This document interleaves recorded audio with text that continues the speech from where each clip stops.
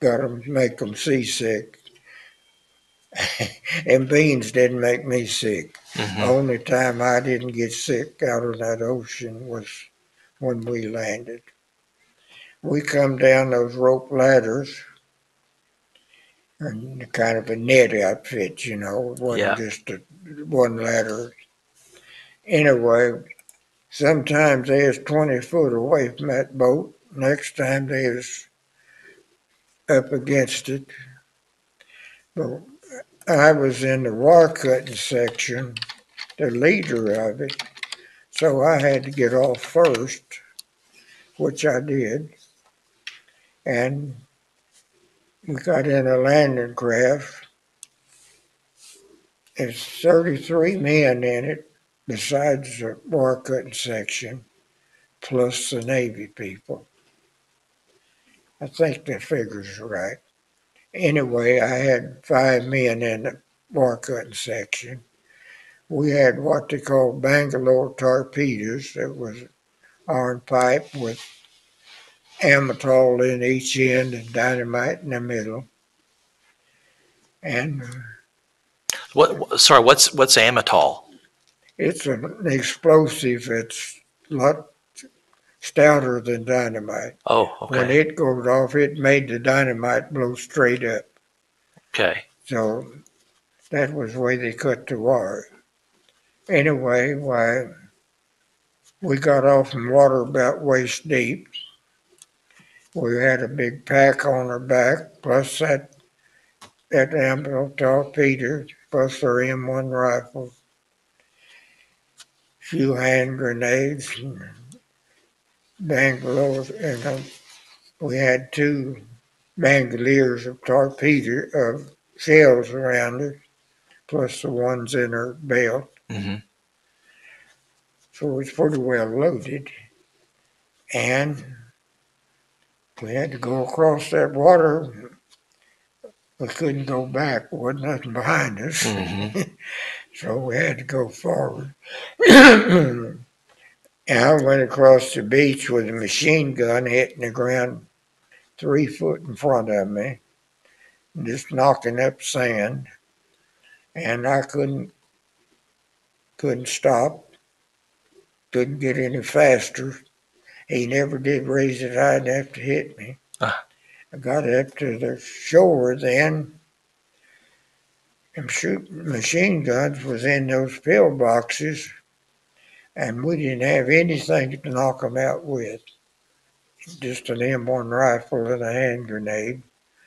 We threw our hand grenades at that hole, but we didn't knock them out. Anyway, why, we had the Germans on the banks pretty well whipped. We were we was pushing them back anyway. We was uh, holding our own, hmm doing lots of shooting. Anyway, uh, I heard later then something knocked the pillboxes out.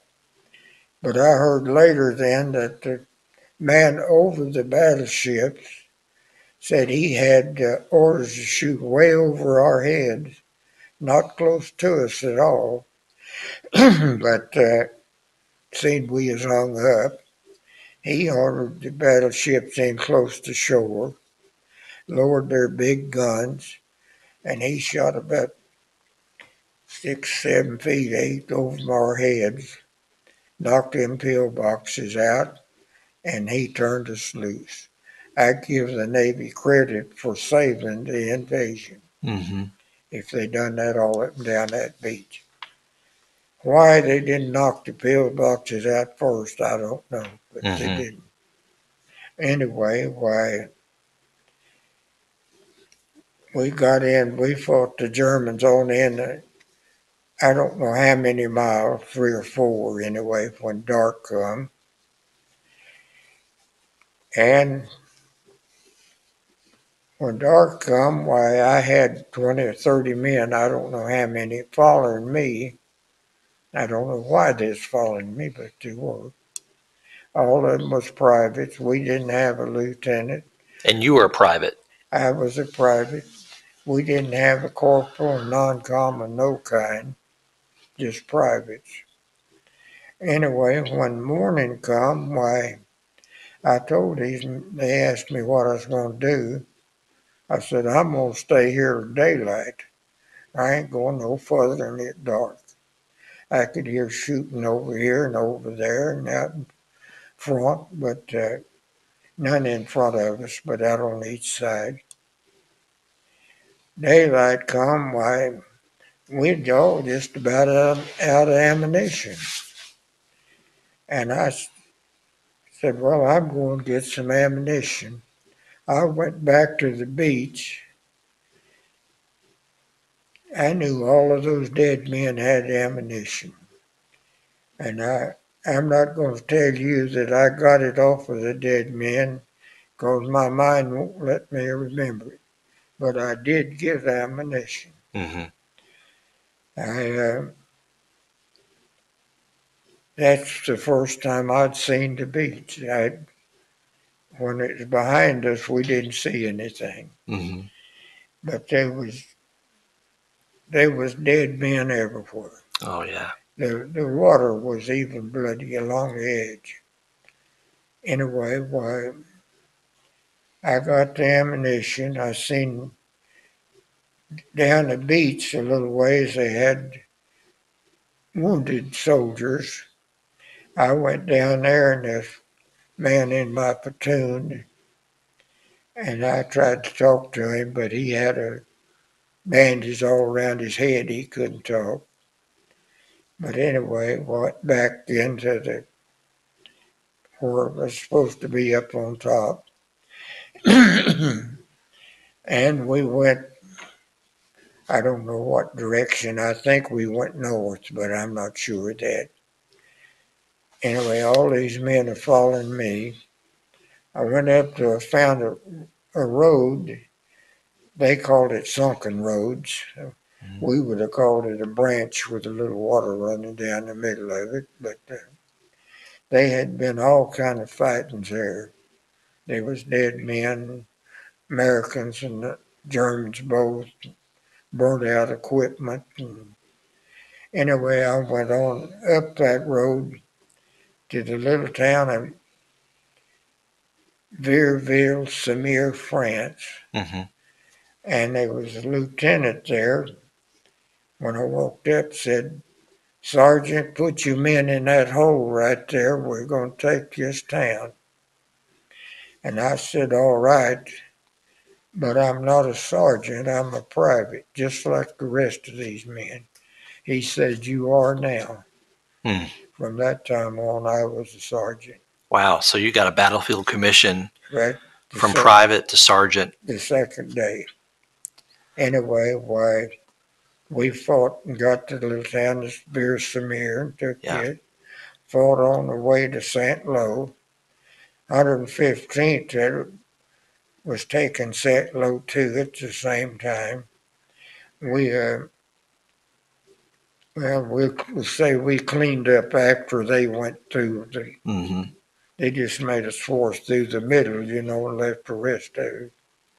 Anyway, when we got through St. Lo, we all got back with our regular units after that. We- Okay. And I was put over the third squad. It was- Okay. So can I uh, go back a little bit? Um, uh, what Tony had a, a good question. You know, that first night after you guys were on shore and you've gone through June 6th and it's nighttime, what was the mood like with your men? The guy, well, they weren't your men at the time. They were following you, but what was the feeling like among everyone? Did everyone, were they upbeat? Was everyone just still, I mean, I'm sure it was still very much uncertain which way the battle was going to go. Well, I think they were just like I was. we were all, uh, we were all trying to live. That is the main thing. And uh, we stayed there till daylight. Of course, we all slept right there beside a hedgerow that we, and by that time you so tired you would sleep, Yeah. and we slept till till daylight. That's when I went back after ammunition. Uh, far as uh, thinking we'd won anything, we didn't think. We just know we had to go further. Um, ha- have you seen um, lots of movies about D-Day? I mean, you've probably seen The Longest Day. Have you seen Saving Private Ryan? Yeah, I've seen them both. Um, what do the movies about D-Day get right, and what do they get wrong? You know. Well, I don't hardly know enough about it to tell you that exactly. One of the things that I've noticed in most of these movies that privates didn't get along with the sergeants and the and the second lieutenants. That's mostly what we had was was we had a few first lieutenants, but very seldom. But there didn't none of that go on. That wasn't right. Uh, we all knew we had to depend on each other. Mm-hmm.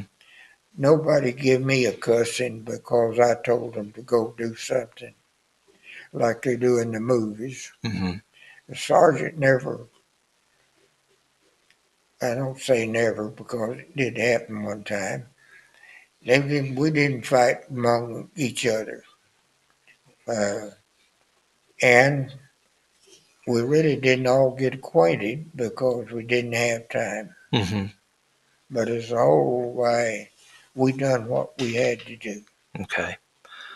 Whenever you came in on your landing craft that morning, uh, w- was it H hour? Was it six thirty?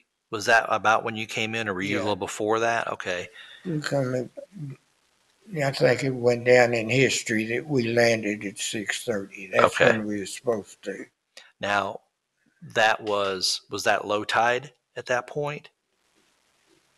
I couldn't tell you. Yeah, that. I okay. don't know. It would.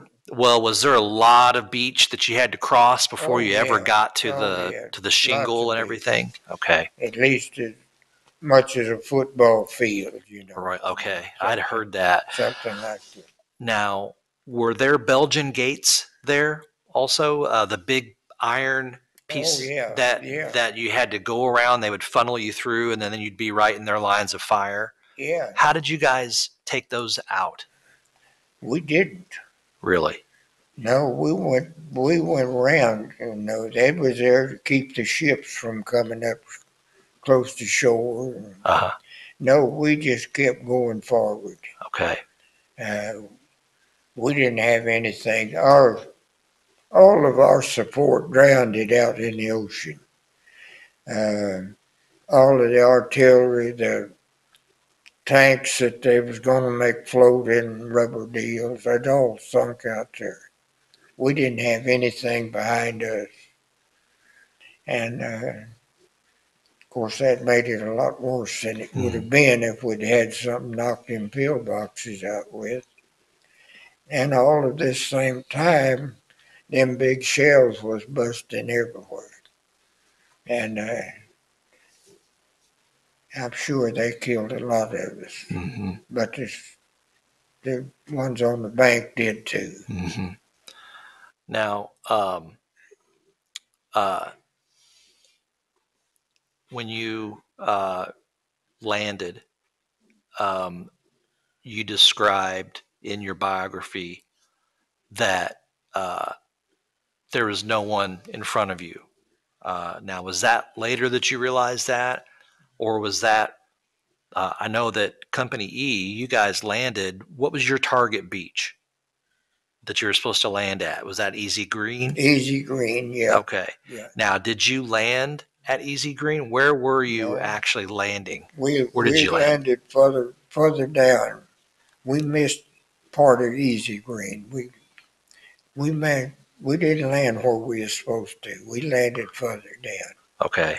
But uh, I understand that there were some currents along the shore that kind of everyone veer, you know, kind of drifted left as they were coming in, and then you had that plus you had strong winds from the same direction plus uh, there was a lot of smoke and everything in the air. So a lot of the landmarks that the landing craft captains were looking for, they couldn't Yeah, see. Yeah, So they were aiming for whatever, and they got you guys kind of all got scattered a bit. well, of course, that part of it, I don't know. Sure. You know, I don't know anything. I just kind of felt like that the ships out in the ocean went too far down from where they should have been and let us mm-hmm. off. Course, I think we made a straight from the boat to the from the ships to the sand. I think we went in a straight line, you know Mm-hmm. but we did go too far down. And that's where we got mixed up with the first division. Ah, They were down on ours. Because we were attached to them. And and these men following me, I had 29th men and, and 1st Division both with me, you know. hmm But uh, they were all privates, all just like I was. We Mhm. wanted to live. And we done, well, I'm going to say we done a pretty good job. I think you did too. Now, you you're you were in the wire cutters, Yeah. And you used the Bangalore torpedo. Did you did you get to use your torpedo? Oh, yeah. Okay. Yeah, we blew the wire. Okay. That's when we found out there was nobody behind us. Yeah. Can you describe what do you mean by that? Like, I mean, what were you, I know you being wire cutters. I've read in these these books that first off were like the uh, the squad leader sort of guys, and then the wire cutters were right like right after that coming off. Um, was your and, we've read a lot about the 116th taking horrific casualties at the landing crafts and everything. Um, what was it like for the rest of them? I mean, did the rest of the men get off of your landing craft, or was it just you guys up front that got off? After we blew the wire and we got back, of course, when we put the our time Bangalore torpedo under then we laid down on our bellies and was shooting at soldiers on the bank. And then uh, after we got the wire blowed, we looked back and there was nobody behind us. The landing craft we were on had, uh, I think, 33 more soldiers plus the Navy, and it blew up, and they were all killed right there. Just us six got off of that. Oh my gosh, That's the reason there wasn't nobody behind I us. understand. I didn't realize. So, um, do they? Do you? I guess you probably don't know. I just wonder if they hit a, a landmine on one of the. Oh, it was a. Was it artillery that came in?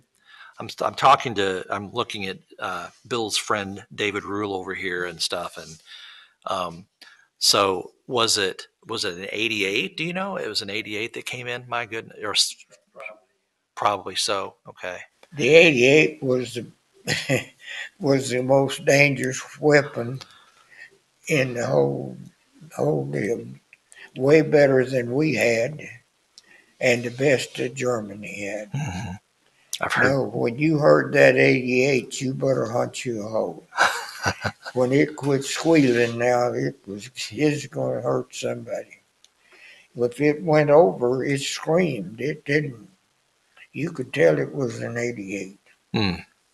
That uh, fellow I was telling you about here that had the song, Yeah. why, that's, he mentioned that in, that boy did. Whoever wrote that song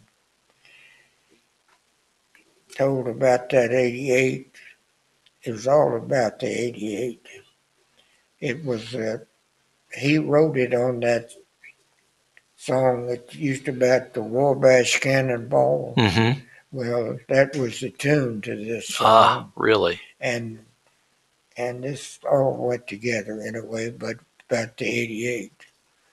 You ought to, Can you can you just mention that story for the recording here about this is a local Bixby World War II veteran that mm-hmm. you knew. Yeah. And can you just kind of briefly tell us the little story, what what what that song's about, or what you how you found out about this? Well, I've his story come out in the newspaper, his name, and it mentioned this song. Well, it had it printed in it, and I read it, and I said, well, and it told where he was, him and some more men were meeting every other Monday or every other.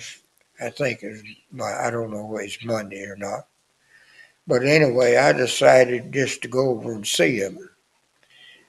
Uh, they, uh, an officer found this story on a dead soldier, found this song, and he knew this fellow played music back there. So he took the song back to him and give it to him. That's the way he got it. I hope it wasn't an 88 that killed that boy, Mm-hmm. but he was dead. Mm-hmm. And uh, after I seen it in the paper, well, I decided, well, I'll just go over there when they were going to meet and see if I can get him to sing me that song. And he did. It was three or four of them making different music, you Uh-huh. know. He's about my age. Some of them could sing pretty good, and some of them, like me, they'd been better off if they kept still. but uh, anyway, why? And I intended to go back, but I never have. Mm-hmm. But I, I just hope that the '88 didn't kill that fella. Mm-hmm. So um, once the guys, you guys all regrouped after you got ashore, and you, uh, you know, you, I think you were up. So you were in the Vierville draw. That was from what you were saying. If you went up to the town of Vierville, as I understand it, that was the most hotly contested, um, you know, uh, causeway up from the beach. You know, um, up onto the the plateau and everything. Um, so, uh, as you guys were, um, you know, fighting through that, and you described you, you saw a lot of, you know, heavy fighting, the results of heavy fighting, a lot of equipment and soldiers and everything that had, had died. Um, where did you guys go from that point? You went up and you took Vierville. Did you did you guys immediately head to St. Lo, or did you kind of hang out? Did you stay there for a few weeks to kind of, or did you immediately start pushing? no, we we never did stop. We went from we just went from one hedge hedgerow to another. Mm-hmm. uh, and mostly we was going forward. Mhm. Once in a while, the way we got, had to stop, uh, but it was fighting all of that time. It Mhm. wasn't. No, we didn't. Uh, on the time we got off of when dark come, Mm-hmm. and then they had shell shooting and things at night, but not not like that. Mm-hmm.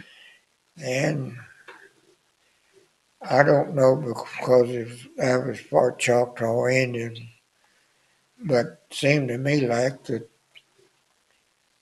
every time I turned around, I was having to take a patrol out on something.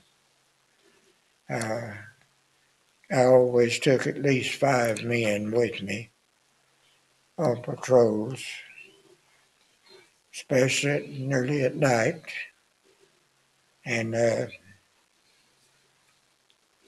oh, I think I could have told them all of everything I found out without going out there, but uh, that ain't the way it works.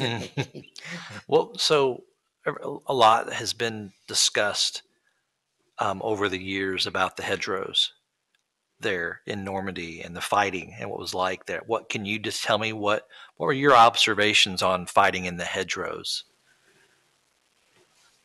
Well, of course, in a way, they were something to get behind. Sure. But then you had to get across them and go across open fields to the next one, you know. And uh,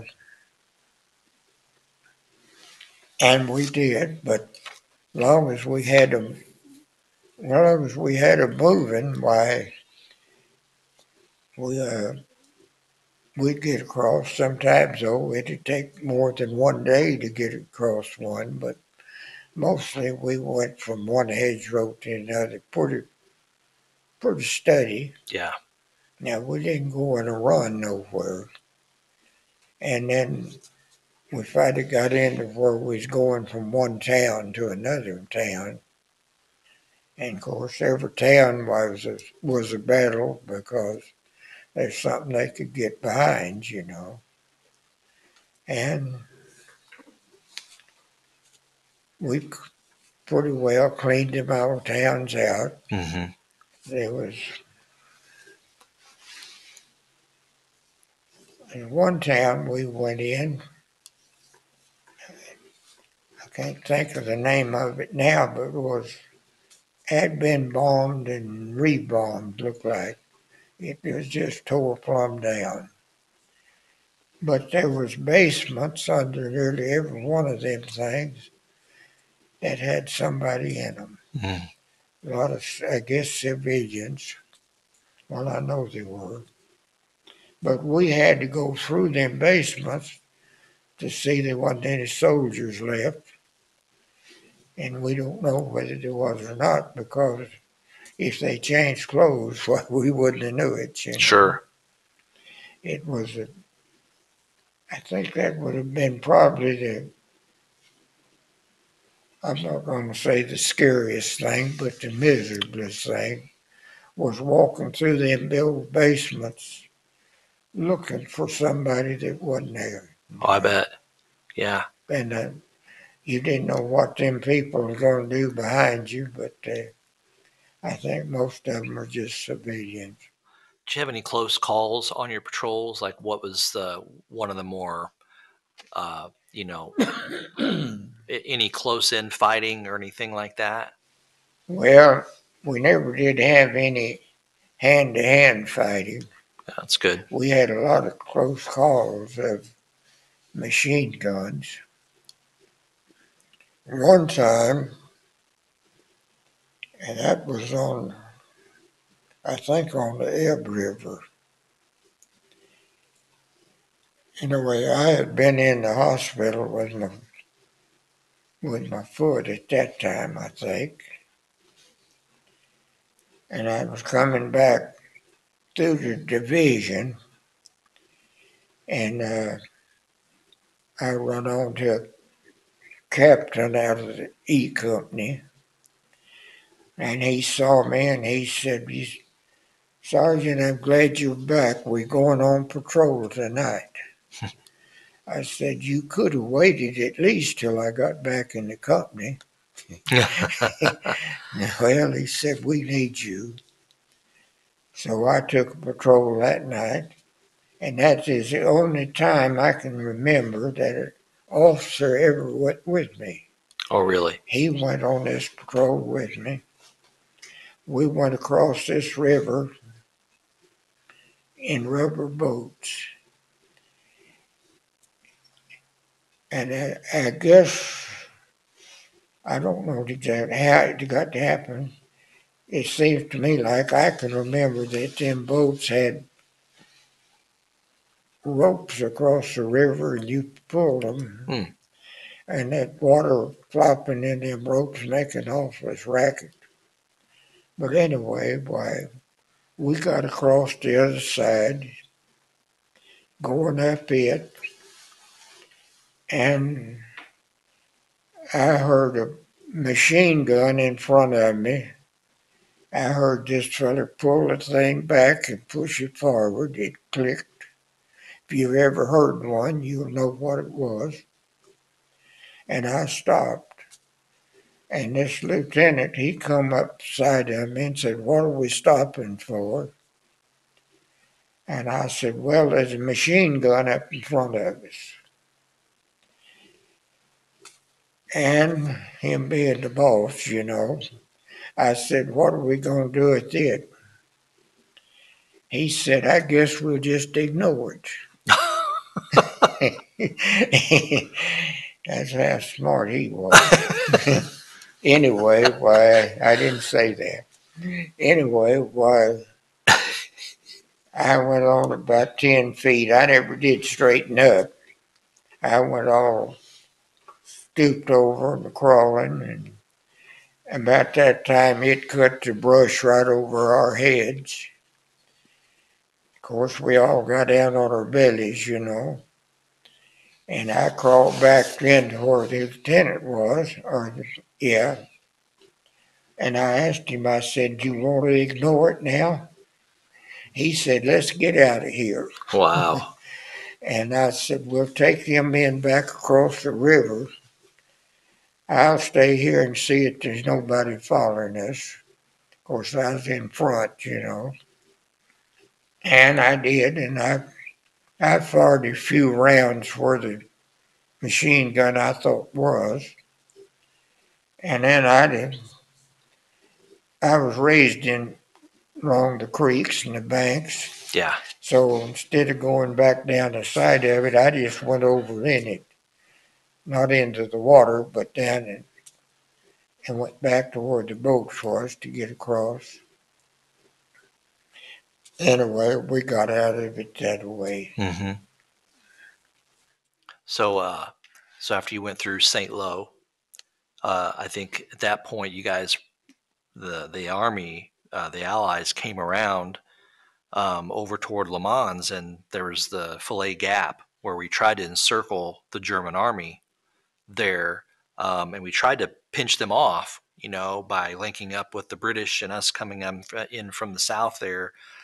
But the Germans got out of there. Were you involved in any of that fighting? Do you know? Did, do you remember, or would you even know you were participating in that, or You wouldn't know you wouldn't know? No, Okay. no, we didn't know. Well, we didn't know anything. Just Hmm. put it that way. All we knew was out in front of us, and that we were taking ground. You know, Mhm. we were pushing them on. So, whenever you were done with being a wire cutter on D Day, what was your primary role from that point forward? Just a frontline patrolman, uh, you know, leading squad, leading patrols and everything? Yeah, Okay. yeah. I was. Uh, I was over a squad at that time. Finally moved up to over the platoon, hmm but uh,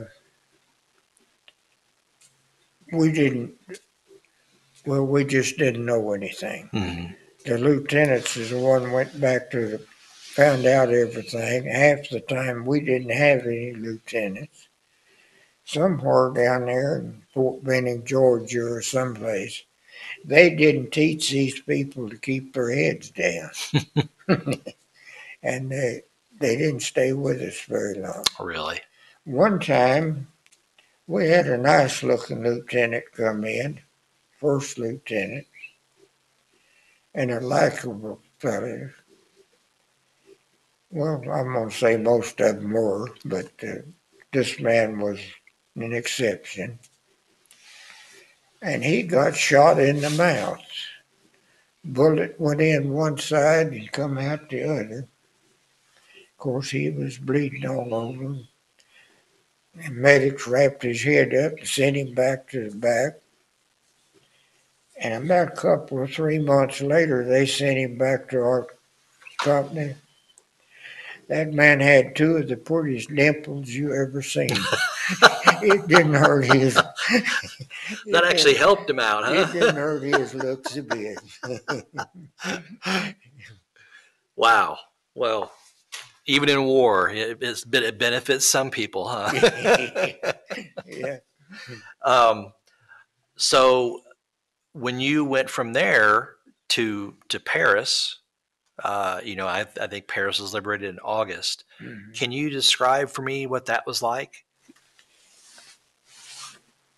The only thing I can remember about it mostly is is the girls coming out with something to drink. Yeah. Uh, some water, some Now, were they Yeah. kissing you guys? Because I see lots of footage of them coming out and well, they would have, yeah. yeah, They didn't uh, once I was in, but they would have. they were they were people that was really glad to see us. oh yeah, You could- You could tell that we'd really done something for them. And it made us feel good. I bet that was a huge morale boost. Yeah, I mean, then you knew. I mean, Yeah. of course, there were, I'm sure, some of the small towns you went through, everyone appreciated you guys being there, Yeah. you know, and so, yeah. In those smaller towns, we hardly ever seen any civilians. They had either went on ahead of us or they went somewhere. Mm-hmm. Very seldom seen any.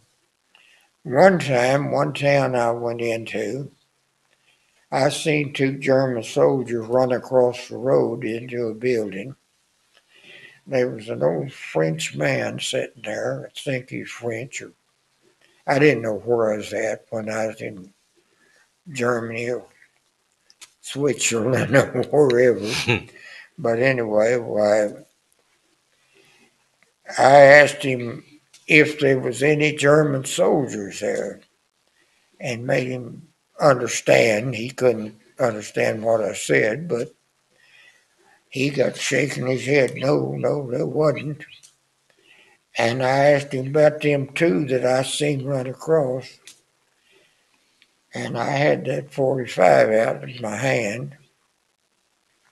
And that old man got down on his knees begging me not to shoot him. And I, I was trying to tell him I ain't gonna shoot you.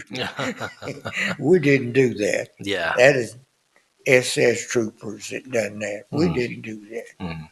None of us that I know of ever shot anybody that didn't need to be shot. hmm Uh, I'm gonna put it that way. Sure. So uh, after Paris, uh, that would have been August of 44. Um, the Battle of the Bulge began in December. What did you do between August and December of that year? Where were where did you go? Where were? I mean, actually, David, you might remember. You said you have a list of the the towns and stuff like that. Generally, what path did they take? Um, well, from France, a little bit of Belgium, and then 11 towns in Germany they. Okay, but between Paris and when the Battle of the Bulge started, did they were? Do you know exactly the path they were where they were at? Because a lot of times, I mean, I know that there's the Battle of the Hurtgen Forest, which was in November, and uh, you know, prior to that was just mainly fighting across France. You know, trying to get over to Germany to end the war by Christmas was the hope, and the Hurtgen, um, you know, was considered the most direct route into Germany and was actually very difficult and we got thrown back there and everything but um, uh, so were you from that point from paris on bill it sounds like you were you know pretty much just town to town fighting Well, right We had them, yeah, we did. We had them on the move. But now that didn't mean that we didn't fight. mm-hmm. We, uh, we lost just as many men and them running backwards as we did them trying to come forward, you know. They, and, uh, was we had all their shells to be put up with and, and uh, war was going on. It didn't uh, just because we had them moving. Patton had them all run down through the middle, but he left everything on the sides. You know, why we still had to fight just as hard, and I don't know from. Well, it just seemed like every night I got more replacements. I had Mhm. lost men every day and got replacements at night. You never got acquainted with them. You never got the. You had their names wrote down on something. Mhm. Was about all. yeah You know, it wasn't. Um, well, it just wasn't an easy thing. It wasn't an, like the movies. Get acquainted with somebody, and Mhm. wasn't hardly like that. hmm Um, I think in your biography you talk about um, uh, a a younger soldier that that came over to you. This might have been at D Day, um, and was at a foxhole and everything. Um, and and you you ended up leaving, and then you came back, and he had been hit and everything. Yeah. Yeah, it happened. Yeah. I'll never get over that. Uh, I got these replacements in after dark. Couldn't see what they looked like. They sent them up there, but uh, this one soldier, he didn't look to me like he was over 15, 16 years old. He probably 18, but just a kid. You could tell looking at him, he's just a kid. Anyway, why I didn't know what to do with him. And I told him, I said, You can be my runner. You stay with me. I had a foxhole dug, just, uh, which I very seldom got to use, but uh, he would, I told him, I said, Put your stuff there and in that hole and go to sleep because we're going to attack in the morning. And he did. and the next morning, my this is when I, my platoon was uh, in reserve that morning. Most usually we were one of the attacking bunch, but it was third platoon, and we left the other platoon attacked first. And they was supposed to send a runner back to tell me when to move up, you know, and they didn't. I went up to see why, and I went across this open fields from hedgerow to hedgerow. Anyway, I found them, and they went across the road and was which they wasn't supposed to do. But they were going up that side of the road and they hadn't sent a runner back. If they did, he got lost. Anyway, when I got back to my foxhole, a shell had hit this boy in that foxhole and, and blowed his head completely off. Mm. I don't know what he looked like. hmm And um, that has bothered me forever Mm. that I left him. Of course, that was part of the war. That wasn't my fault, but uh, you take the blame for it anyway. hmm No, I'll never get over that. Whenever you uh, ended up, uh, when the Battle of the Bulge started, uh, what was the feeling like? I mean, I think at the time the understanding in in the military, in the army, was these guys are basically licked. We're gonna, you know, this we'll, we'll be able to push on into Germany. And then when this offensive started, what? How did you feel? What? What was was your thoughts? You know, we didn't know anything about the Battle of the Bulge. We was in it, but we didn't know. We didn't know what was going on. We were. We were at. I'm- think this is where we were at. I'm pretty sure it was. We were sitting on a river. I called it the Roer River, but I don't know for sure that's where it was. But there they had what they called a sport plaza on the other side. I didn't know what a sport plaza was. It wasn't anything but a bunch of cement buildings, you know, little flat top buildings wouldn't amount to much of anything, which they should have put the artillery on and tore down and didn't. But we crossed this river and we took it. And all of a sudden, we got pushed plumb back across the river again. The next night, we took it again, and they pushed us back across the river again. Mm. This was the doing of the starting of that Battle of the Bulge. We didn't know that they was doing it in a great big circle, you know. We just was a small part of it. And nobody said anything about a battle of the bulge while it's going on. That all Mhm. come up later. Okay. But uh, we finally we took the sport plaza the third time and we kept it.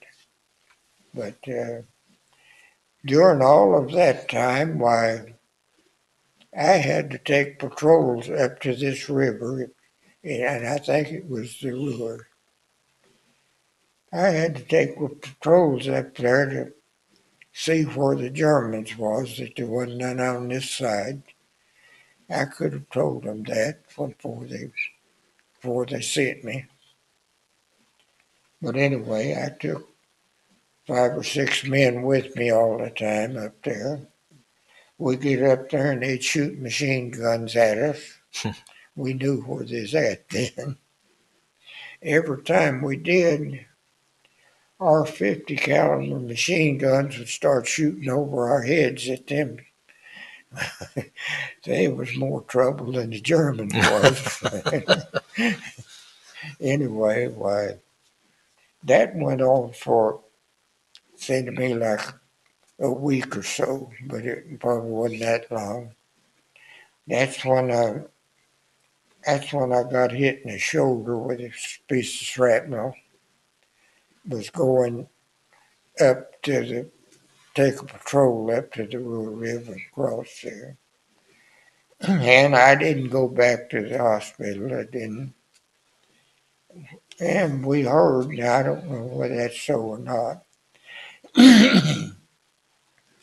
General over us had made an order out.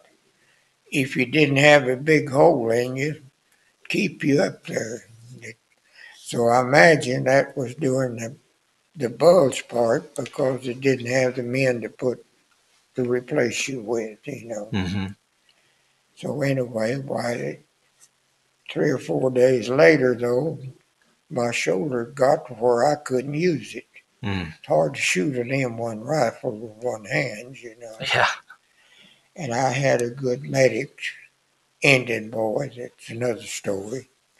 Anyway, why he told me, said, you gotta go back and see if it's broke. And he finally sent me back. Got back to this VAC hospital. Nurse looked at it and I told her, I said, well, it don't amount to much.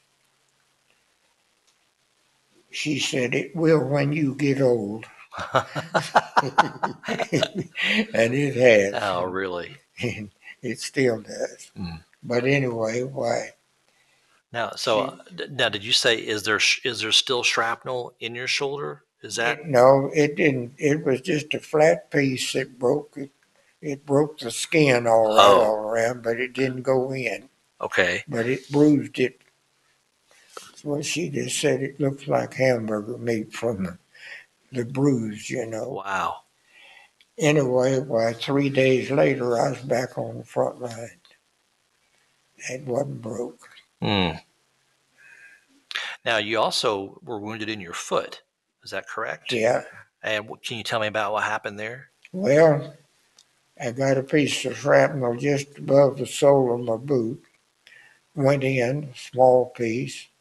We were in a sunken road and this shell hit and it was in that mud. That's what killed most of it. The reason it probably didn't blow my foot off. But this little piece hit me in the foot. We were fighting, getting ready to attack and did. I could tell there was blood in my boot, but at least something wet in it. And I didn't go back to see about it. Three or four days later, though, my foot had swelled up till I couldn't get my boot off. Mm. Had to cut the things to get get it out. They sent me back to the hospital. And when I got back there, why, you weren't a lieutenant, were you? No.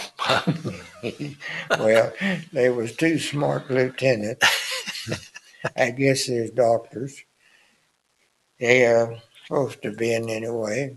one of them looked at the other and said, We'll have to take it off. It's got gangrene in it. You could have heard me plumb over here. I said, No, you ain't taking my foot off. And I was a little bad to cuss about that time. It wasn't just all like that. Anyway, well, there was a captain heard it. He come over and looked at it. And he said, No, get you a bucket of hot water, fill it full of Epsom salt, put his foot in it just as hot as he can stand it, and keep it that way till it comes to a head. Then take it out. And they did, and I've still got my foot. Wow. And My they- goodness. As he walked off, he turned around, looked at him. He said, That's what my grandma would do. Ha, really? Anyway, well, I've still got my foot. Well, that's awesome. So as you got where so where did you cross into Germany? Like what was uh do you know about where it was you went over into Germany? I have no idea when it went into Okay. Germany or anywhere. Yeah. Okay. Um, and you you described uh, linking up with the Russians at the River Elbe. Is that Yeah. correct? Yeah, Um, and I don't remember if we talked about that at the beginning or whatever, but you said that they pulled up in trucks and they were all dancing and they had women with them and they were probably drunk and and all that stuff. But what was your impression of the Russian soldier? well, I thought this guy's peculiar. Yeah. If it had been on a Saturday night, I wouldn't have thought much about it. But, uh, but, but fight in the middle of a war, why, we, th- I thought this. But anyway, they were nice enough. and yeah. And they were on your side too. So I mean that Yeah, that that's better than having an, Yeah. another enemy, you know. So That's the main thing. Yeah. So um, let me see. Uh, uh, okay, Tony's got a lot of questions here. I need to get to his questions. So, um, how did the war change you in the end? You know, what what impact did it actually have on you? Well, it changed my life all over, every bit of it. If uh, if the war hadn't come along,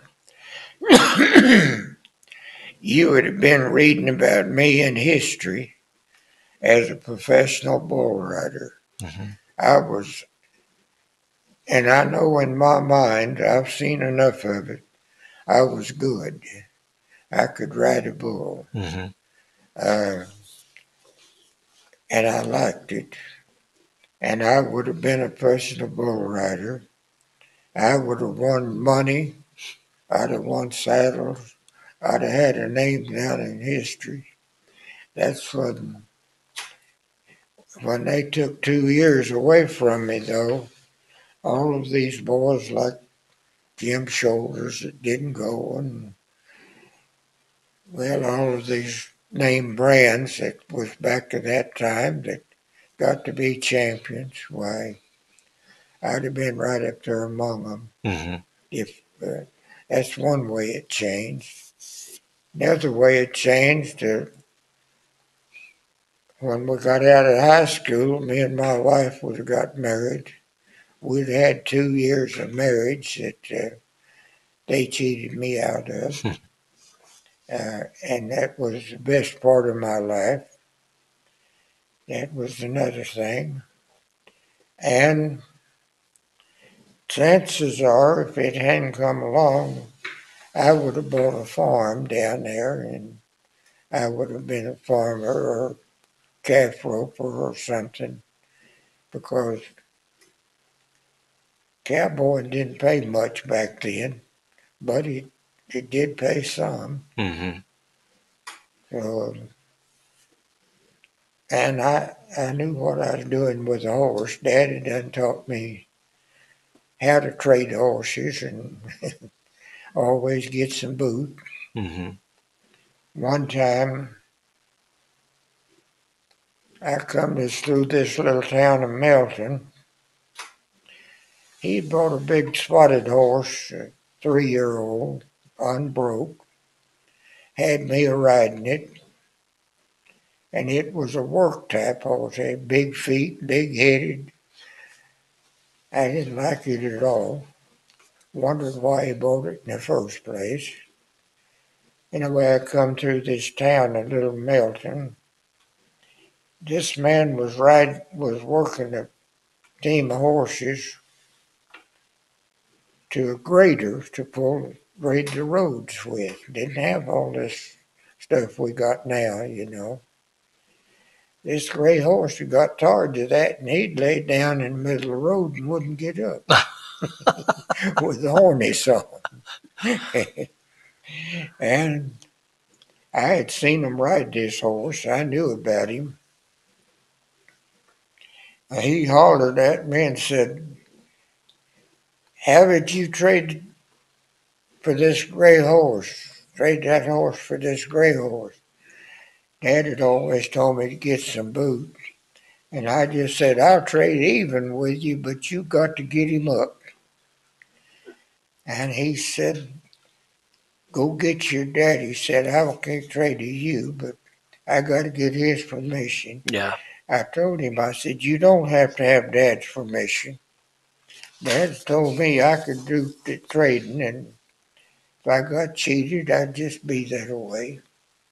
But you don't have to. No, he said, I don't trade with you. So I went and got dad, got back over there. Horse was up, has his harness on. I told him, I said, get your harness off of him. The horse belongs to me. Oh, he got pulled it off, and I put my saddle on him.